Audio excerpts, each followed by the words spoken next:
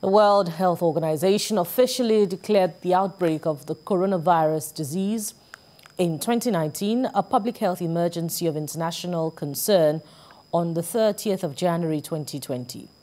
The global recession caused by the COVID-19 response is alarming and has made researchers question whether the Sustainable Development Goals, SDGs, are fit for the post-pandemic age.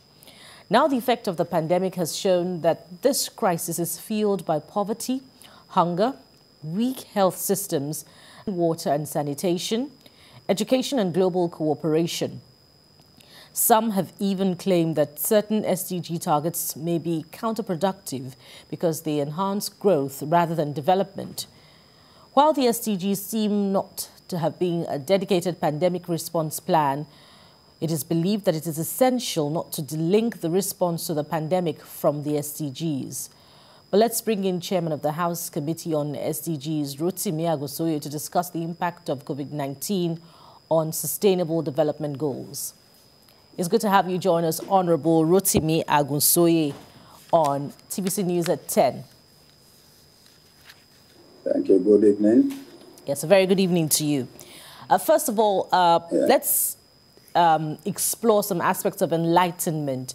What aspect of the SDGs are no longer realistic in the light of the COVID-19 pandemic as um, development rather than growth, as stated in the report? Um, thank you very much. Nobody envisaged uh, COVID-19 at the time uh, it started. But uh, life has to continue.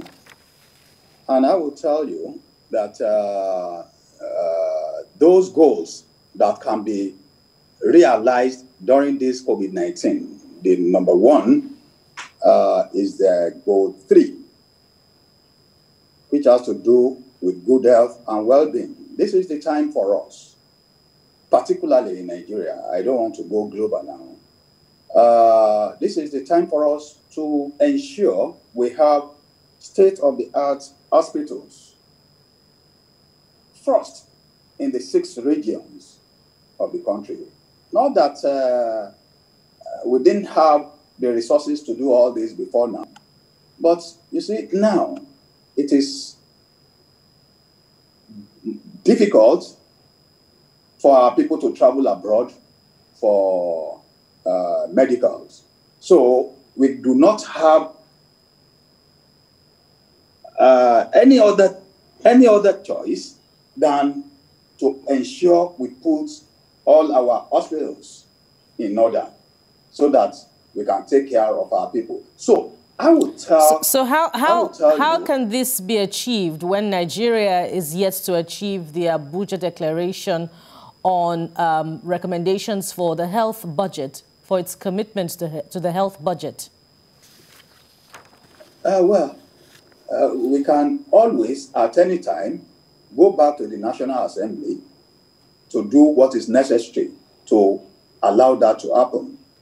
Because uh, if we don't put our hospitals in order now, it will be pretty difficult for our people to survive. Apart from, uh, you know, goal number one is uh, we say no poverty, while two is zero hunger. And uh, what is happening right now, by 2030, I will tell you that over a billion worldwide will, uh, will probably be living in ex